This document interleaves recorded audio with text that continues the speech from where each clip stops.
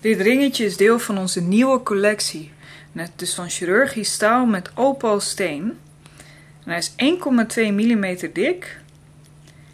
En je kan hem halen bij ons in de winkel of in de webshop.